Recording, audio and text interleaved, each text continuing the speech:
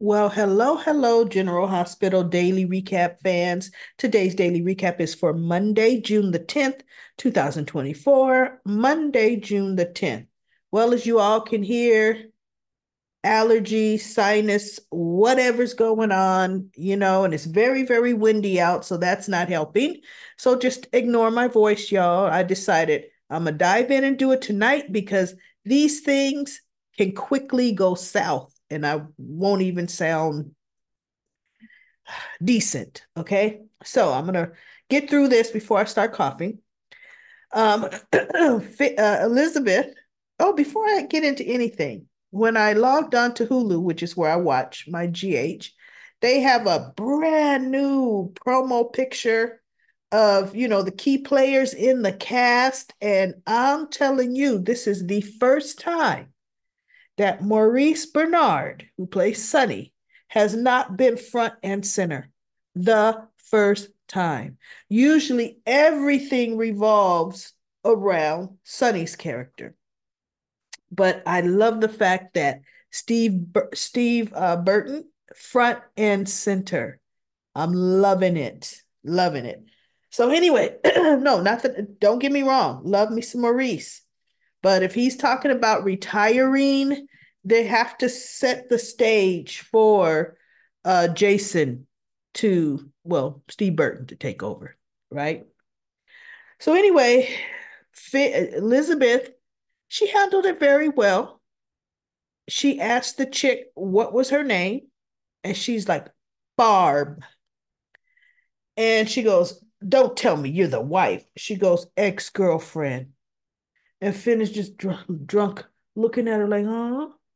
And so Barb says, Well, then you can't come in here and tell me what to do. And she looks at Finn. She goes, You're going to let her come in and call the shots? And Finn is looking at Barb like, Oh, let me think about this for a year. right? So she goes, What's your name? And she said, Barb. So Liz says, Barb, like I said, you can leave. So Barb looks at Finn for the last time, saying, um, are you gonna let this happen? And he just looks at her like, I'm trying to still think of my response. She gets up, fine. She leaves, right? And he now standing up, and now he could talk. He couldn't say nothing to Barb, right? While Barb was there. Now he could talk, you know, saying, You don't, you can't just come in here and you don't have a right to X whatever. And Elizabeth said, ah, Is Violet here? And he goes, You don't think I would do all this in front of Violet? And she said, Ask me if you would have asked me that a week ago, I'd have said no. But Finn, I don't know now. And in my mind, I'm thinking he never would have done that in front of Violet. But anyway, you know, if he gets too far down the stupor, he would be falling out drunk in front of Violet, right? He'll put her to bed and get on a complete bender, passing out. She'd wake up having a bad dream about grandpa and can't wake her daddy up, right? So anyway, he's Elizabeth is just like, I can't, you know what? I can't. And he goes, No, she goes, What are you doing, Finn? He goes, Where were you? You always judging people because I wasn't perfect for you. You know, you're talking about you can't. She goes, I can't put myself through this and I can't put my boys through this again. No, no. And so he says something else, and she goes, You know what? Talk to me when you're sober. And so she's turning to walk away. And he told her, he goes, let's see, was Jason there? He says, leave your keys and you can go. So she walks behind him, I mean, in front of him, leans over and drops the keys in one of the bottles of vodka.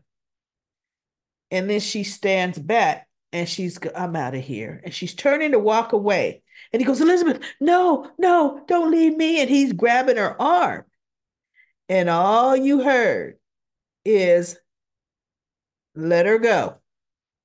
And that was Jason. And, you know, Elizabeth snatched her arm away and Finn is looking and he goes, So you called him before you came here? Do you really think I would hurt you? And Elizabeth looked at him and Jason says, Elizabeth, what do you want to do? And she looked at Jason and she says, I want to get out of here. And he said, Let's go. So her and Jason are turning and walking away. And they walk out. And Finn is like, I stood by you when you and he was naming, you know, when Elizabeth was psycho two years ago, all the things she was doing. He goes, and I stood by you. And Jason looked at him and said, Don't go near Elizabeth again. So then Jason takes Elizabeth to the Metro Court uh, pool side. You know, they're both got their feet in the pool. And she says, I'm surprised any that you know anybody could get Jason Morgan to take his shoes off and put his feet in the pool. Jason said, Don't tell nobody. Right. And so he was just there for her. He let her talk, you know, and she said, you know, you've been gone for two years. And and I I don't know, Jason. And she goes, Did you do it by choice? And he said, No. And she said, I didn't think so. You know, oh. so then she was like, How'd you find out? How did you know to come there? And he said, Jake called me and said, You needed me. And she says, For Jake to reach, and he goes, And for Jake to reach out to me, then I know you needed me. He was afraid for you. He goes, Your son really loves you. So she says, and for and for him to reach out to you, she says, that's progress. So he was saying, you know, he wanted to be more of a presence in Jake's life, but only on her terms for how whatever she feels is appropriate. And she's just looking at him and shaking her head. And you know what? They better not be putting those two together. So now BLQ, BLQ and Chase are talking to Tracy you're trying to let her know there's a plan they have to try to get Violet away. They're going to have a bunch of the kids up to the house. Tracy, I mean, Finn and Brook Lynn will move, you know, come there and stay for a week and have Violet there so she could be around all the kids for the summer and blah, blah, blah. She, he feels that Finn might go for that. And he goes, that'll give us time to help Finn get on the right track. And Tracy just said, look, be prepared that it won't go your way just be prepared, I'm telling you. Within in this state of mind, he may not go for it. And bottom line, Violet is his daughter. So she goes, that's where you come in. And I think they want her to talk to Finn as well. So we have boring Nina, she not Nina, boring Willow and Michael were on a date, blah, blah, blah. She's telling Michael, you know, things are going better with Nina. And she's thinking of giving her another chance, or, you know, she's not opposed anymore, and blah, blah, blah, whatever. Michael always has said, it's your choice, the relationship you want to have with your mother. He said, but where our kids are concerned, I am guarded because their best interests are at heart. And she goes, No, I, I understand. And I'm really, really guarded where they're concerned too.